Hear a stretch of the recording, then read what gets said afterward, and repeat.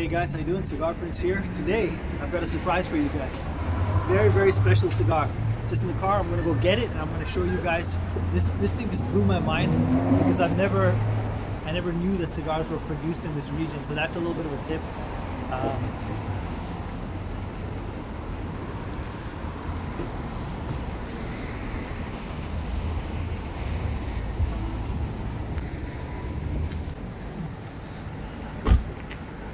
lo and behold guys so this right here is a Calixto Lopez. I don't know if I pronounced that correctly but it's a cigar that's been made in the Philippines since the 1800s my mind was blown. I never knew Filipinos produce cigars. So this one's uh, pyramid shape. I like the format. Look at the construction on this baby. It's very nice and smooth. Looks like it's been aged a long time even though the box actually said May 2019 so it's a few months old very different than many of the Cubans. The quality of the tobacco that's grown in the Philippines is just very different. It's paper thin. There's some veins on here, but you can't really tell they're there. Almost has a cardboardish kind of quality. I hope that doesn't translate into taste. uh, but very nice format. Very nice looking cigar. Cool band. Take a closer look at that band.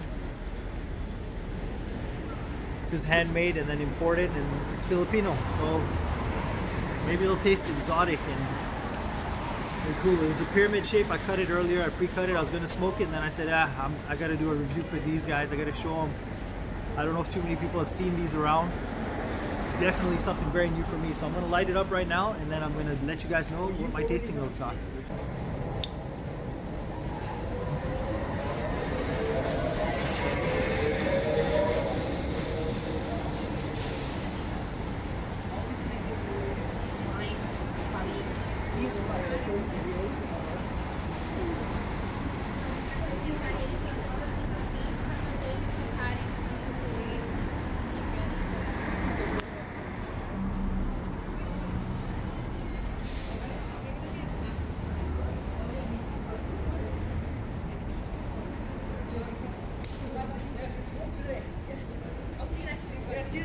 So guys, middle of the first third, what am I getting?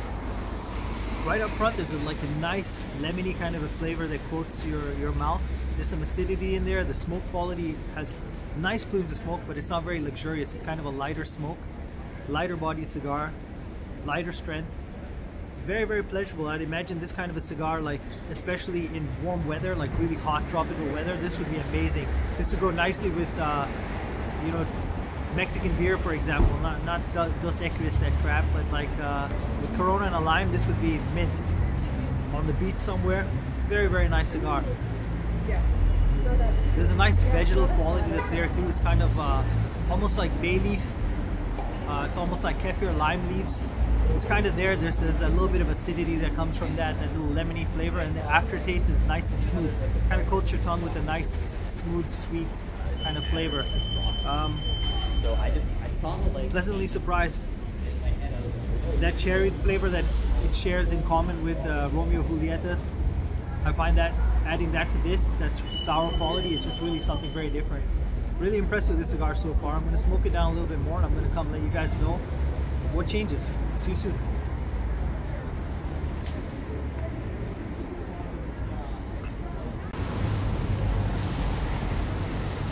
Guys, come check out the band on this.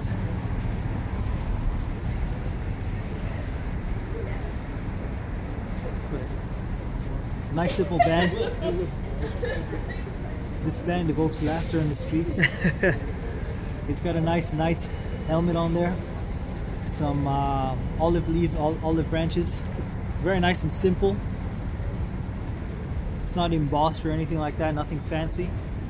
But very nice. Getting into second, third, guys. Very nice transition. Actually got some chocolate in there. Very light milk chocolate, kind of a mixture between chocolate and uh, and caramel. Very, very nice. Adds that sweetness, a little bit more of that sweetness uh, to that aftertaste, pretty much grew into chocolate, milk chocolate, and, and caramel. It balances that sourness quite a bit. Very nice cigar, it's quite complex. Pleasantly surprised. We'll smoke it down some more, uh, and I'm gonna come back and let you guys know what's happening. But look at the construction on this. I want you guys to take a closer look so you can see quality of the wrapper, very nice, very smooth. It's very thin. The cigar has a beautiful draw. There's some veins that you can see in there, but they feel like they've been fermented and stretched like crazy, so they're really very nice and smooth. We've got about an inch of ash there. It's holding up really nicely. Nice white ash. The burn is actually really good. There's a slight breeze out here, but it's still keeping up. Check out the smoke output.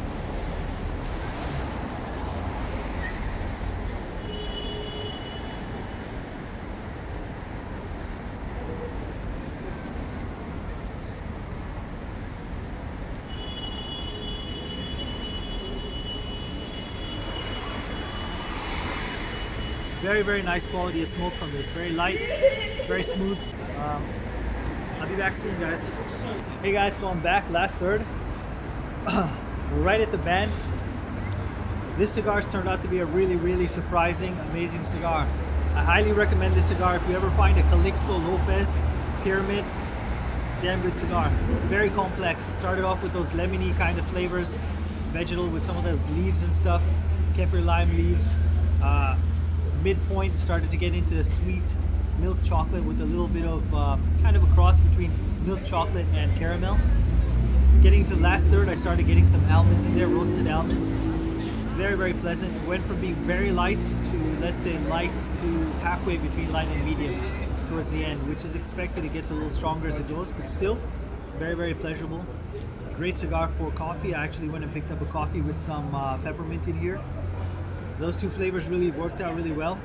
This would be great for nice tropical climates, sitting at the beach, smoking uh, nice cigar, beer, nice light lunch, something along the lines of some kind of Southeast Asian food. Would go really amazing with this, Thai food or something like that, something nice and light. Beautiful cigar, really impressed. If you guys get a chance to smoke these Calixto Lopez Pyramids, highly recommend it, very nice cigar. Easy to smoke, beautiful draw, nice construction. Burned perfectly the whole way through. It actually had two and a half inches of ash before I ashed it, which tells me that this cigar was really well constructed, very nicely put together. Um, so there's my review, guys. I'm going to enjoy the rest of this and turn it into a finger burner. Hope you guys have a great weekend. I'm to have a nice time walking around and getting some exercise after that heavy dinner. Um, I'll see you guys soon. Cheers. Peace.